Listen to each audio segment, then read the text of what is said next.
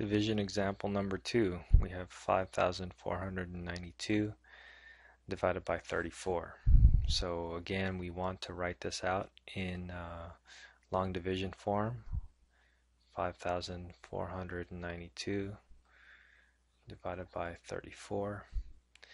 And then we ask ourselves how many times does 34 go into 54? 34 times 2 is 70 uh, 68 and so that's too much. So we go 1 uh, 4 and 3 we subtract we get uh, 20 bring down the 9 so 34 goes into 209 uh, let's see if we go 5 times here uh, if we imagine 5 times 4 is 20 carry 2 5 times 3 is 15 the 17 17 that looks close but I don't know if that would be enough. Let's go 6 times 4 is 24 carry 2 6 times 3 is uh, 18 19 and 20 so this is a lot closer.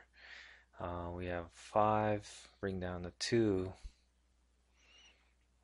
oops and then um, looks like uh, that's just one. Uh, 34 is going to go in 52 one time. So subtract. Uh, bring. We need to borrow. So 12, uh, 4 into 12, 4. Take away from 12 is 8. And this was a 5. We need. We borrowed one, so that's a 4. And then we subtract from 3. That's 1. It's 18.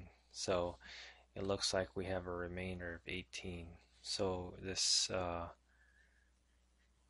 this division problem is going to be 161 remainder 18.